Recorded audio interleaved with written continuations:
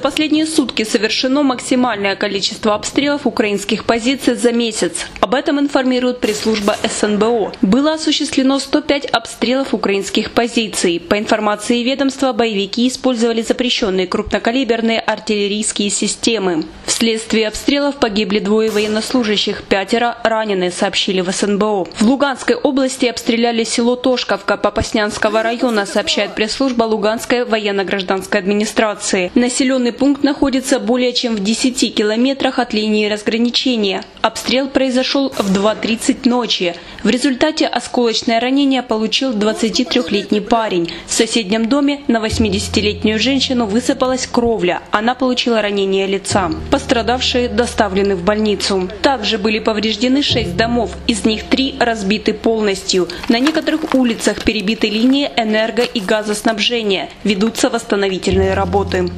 Очередному обстрелу подверглась Горловка. Разрушены два дома, 9 остались без газоснабжения. Об этом сообщает сепаратистское издание «Дан». Боевики незаконной группировки ЛНР вербуют информаторов, угрожая расправой. Об этом сообщают в Службе безопасности Украины. По информации спецслужбы, житель Станично-Луганского района был завербован руководителем незаконной организации, действующей на Донбассе в мае этого года. Он рассказал, что согласился на сотрудничество с боевиками из-за психологического давления и угроз расправы над ним и семьей. Задачей информатора был сбор данных о местах дислокации подразделений ВСУ, их перемещения и виды вооружения, а также результаты обстрелов, осуществляемых боевиками. У меня есть знакомый Зыбин Денис, который сейчас является одним из командиров незаконных воинских формирований в Луганске. Познакомились мы с ним около 15 лет назад, как односельчане. Примерно около трех месяцев назад мне передали через людей, которые в бытовых целях ходят в Луганск и обратно, что он мне угрожал и обещал Эти люди, сжечь мою мастерскую за то, что я ремонтирую машины э, ну, военнослужащим Украины. эти люди общ- общие ваши знакомые. Ну да, они знают все местные. После этого в телефонном разговоре Денис сказал мне, что я буду, чтобы я давал ему интересующую его информацию, и что после завоевания ЛНР станицы Луганской он не тронет ни меня, ни мою семью.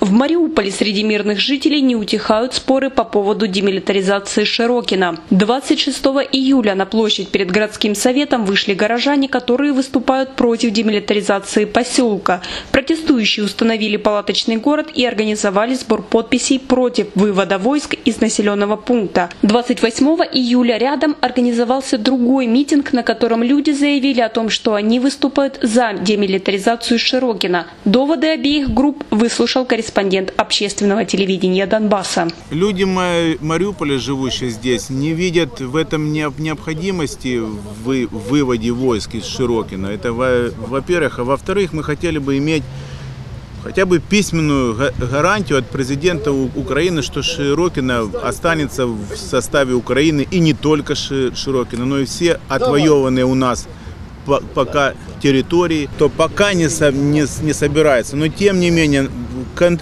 контрольная цифра была 3 августа, будет издан воинский приказ от главнокомандующего о выводе войск из Широкиного. Вот мы по- поэтому и 2 собираем митинг, и мы посмотрим, как будет 3 числа, какая будет эта реакция.